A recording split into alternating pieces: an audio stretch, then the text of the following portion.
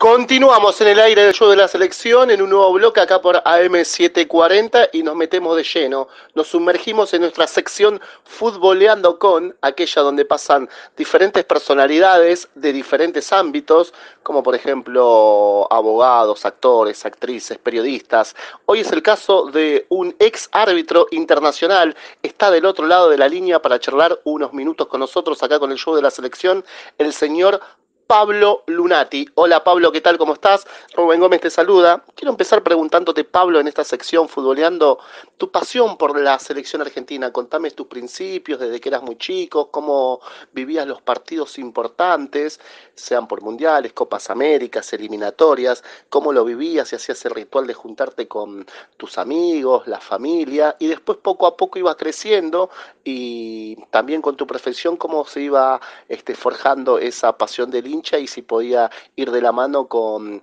esa otra pasión que es el arbitraje. Convengamos que yo vi a Maradona, yo vi a Maradona, yo vi a la selección del 86 y vi a la selección del 90. Vi a todas, 94, 98, 2002. Pero yo lo vi, a yo lo vi jugar a Maradona. Nunca comparo Nunca comparo con Messi, es otra época. Uno se crió en Europa y tiene idiosincrasia europea y otro salió de Fiorito y se crió en la Argentina. Yo vi jugar a Maradona, vi la selección del 86, repito, y vi la selección del año 90. Pero no todos tienen el mismo carácter. Maradona hubo uno solo. Y no va a haber nunca uno igual. De eso no tengo ninguna duda pero ninguna. Yo me divertía viendo a Maradona dentro de una cancha. Me divertía viendo los equipos en donde jugaba Maradona. Me levantaba a las 9 de la mañana a ver al Napoli de Alemão, Maradona y Careca. Así salió campeón el Napoli y le ganó la Juventus y le ganó a todo el norte de Italia. Así que no, no, no puedo agregar más que esto. ¿Qué tal Pablo? ¿Cómo estás? Víctor Santander es mi nombre y yo quería consultarte por eh, tu profesión, justamente la de árbitro. ¿Cómo se te dio por eh, ingresar a, este mundo? Si fue con un primer paso por el fútbol, eh, como ocurre quizás en, varios casos, o este, directamente vos ya tenías en la mira poder hacer esa carrera. Yo creo que ningún árbitro de fútbol quiere ser árbitro de fútbol, muchacho. No sé, el arquero quiere ser arquero poquito. Yo creo que si le preguntas a un chiquito, ¿querés ser arquero? De, uno te dice que quiere ser arquero. Después va al arco. Pero siempre digo lo mismo, para ser árbitro y arquero, un patito feo se te fue la fila. La realidad es esa. Nada, nada, yo tenía un, un muchacho en Santo Lugares que era la única estación de servicio que había, que era juez de línea de primera división, insistió varios años hasta que le di bolilla y, fui este, a hacer el curso de AFA. Jugué al fútbol en inferiores, en infantiles, hasta los 15 años que repetí de año y mi papá me sacó de los pelos. Y después no estudié más. No hice ni una cosa ni la otra. Pero la realidad es que muy pocos árbitros entran queriendo ser árbitros de fútbol. No creo que llegue al 10%. Después empezás a amar y a querer esta gran, gran y hermosa profesión. Esa es la realidad, no, no, no. Muy poca gente entra queriendo ser árbitro de fútbol. ¿Qué tal? ¿Cómo te va, Pablo? Mi nombre es Augusto Fraschino, un placer saludarte. Eh, quiero preguntarte, ¿cuál considerás que fue el partido donde más criticado fuiste? Un partido muy polémico que, recuerdes ¿no? de, tu, de tu profesión. Eh, ¿Alguno que quizá te costó mucho dirigir? ¿Recordás alguno? El partido que más me costó, pero no que me costó. La verdad que jugué un partido bárbaro. Bárbaro. Me acuerdo que la nota fue 6.50 porque cobré un penal afuera del área. Fue una jugada. La final de Chicago, Body Cruz. Fue un macanón grande. Pero sacando esa jugada jugué un partido muy bueno. La Terna jugó un partido bueno. Yo quedé lejos. Nico Sánchez la pierde Vega, Nico Sánchez el FAO, Vega era el arquero de, Chicago, yo quedé muy lejos y me quedo muy afuera. No, no sabía dónde había sido la falta, la cobro adentro, el juez de línea se me mete y cuando le pregunto y me la acerco si había sido penal porque Nico Sánchez me juraba por la hija y me recontrajuraba por la hija que había sido afuera, me dijo que había sido adentro. Bueno, ese creo que fue el partido más polémico porque era un ascenso, digamos.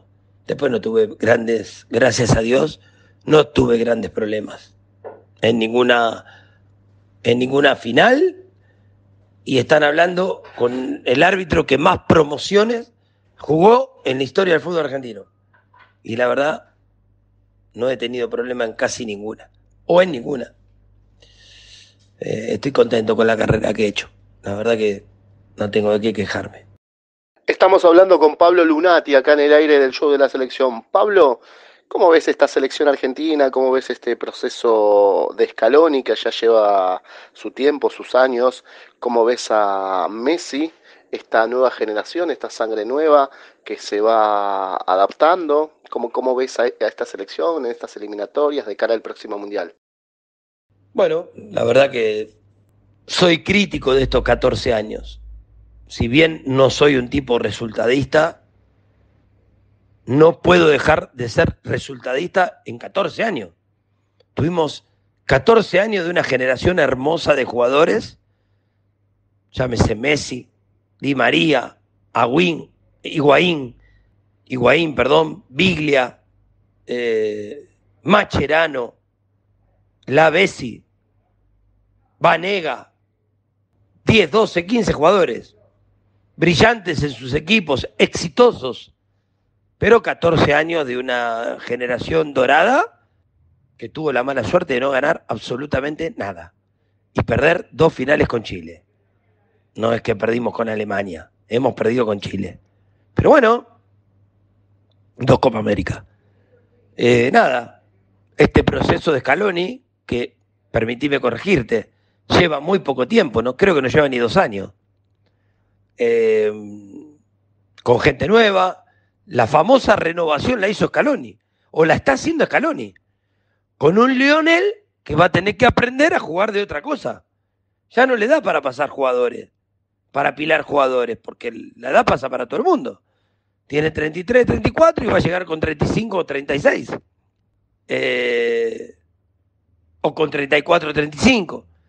Ya no le da, va a tener que él aprender a jugar de otra cosa. No va a poder jugar más de Lionel. Pero bueno, nada, obviamente siempre con mucha fe. Teniendo al mejor jugador del mundo, eh, no tengo ningún, ningún problema, ¿no? Este, la fe está intacta de ganar algo.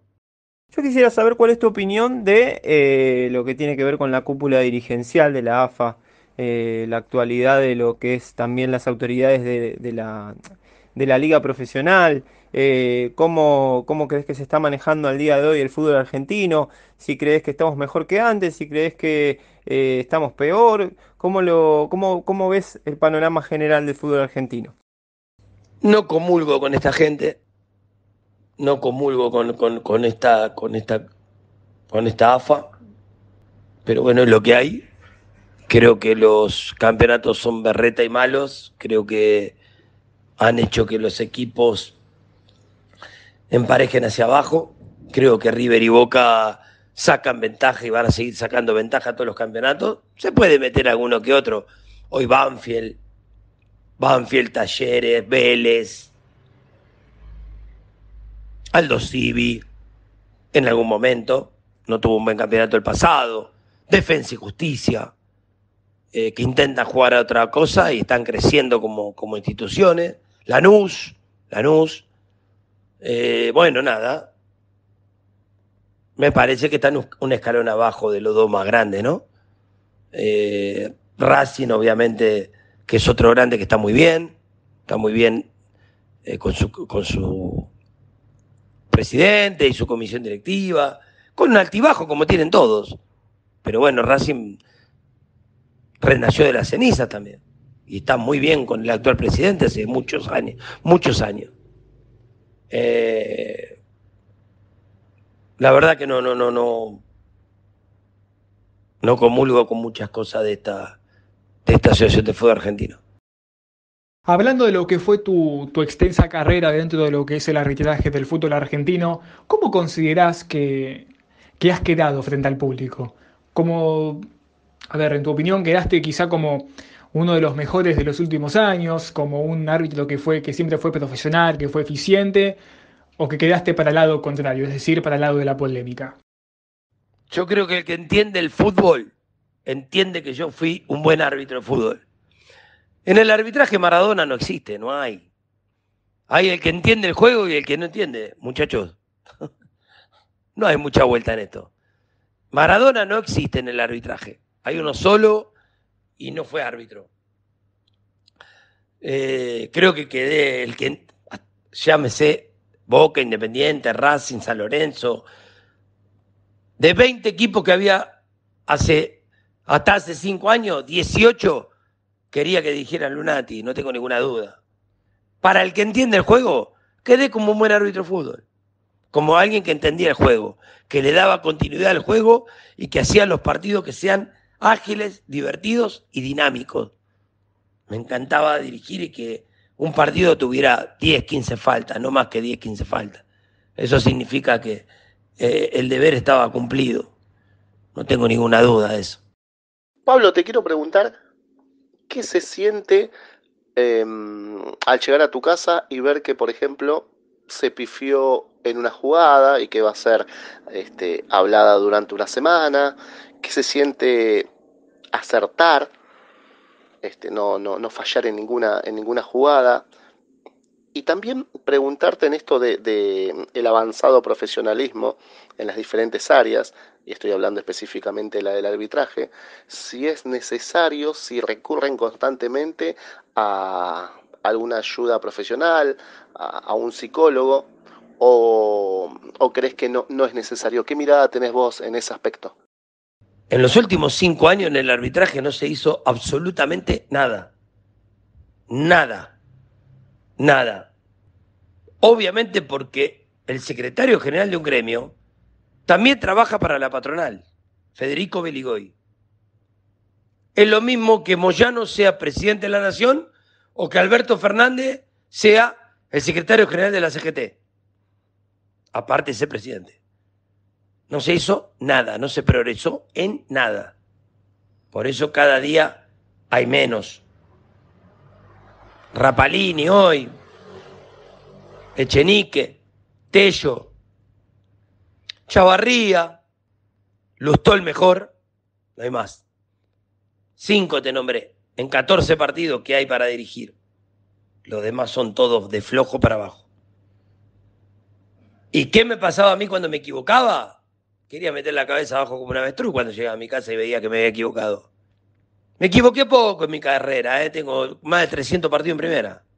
Buscar las equivocaciones. Muy poquito me equivoqué. Muy poquito. Yo digo que el, el, el, error o el yerro es grande cuando te equivocas las áreas. Yo me equivoqué muy poquito en 300 partidos. Más de 300 partidos en primera, muy poquito. Después te, te podía gustar o no la manera de dirigir, la manera de expresarme, la, la manera de gesticular la manera de, de, de, hablar tanto con los jugadores, me encantaba jugarlo el partido, pero vuelvo a repetir lo que te dije antes, entendiendo el juego, yo entendía el juego como pocos. No es fácil entender el fútbol cuando estás dirigiendo un partido de fútbol. No es fácil. Y así pasaba charlando con nosotros en el show de la selección el señor Pablo Lunati. Pablo, un fuerte abrazo, muchísimas gracias por estos minutos y hasta cualquier momento. Muchachos, que tengan un excelente año 2021. ¿eh? Cuídense, que todavía hay que cuidarse y mucho. Les mando un fuerte abrazo.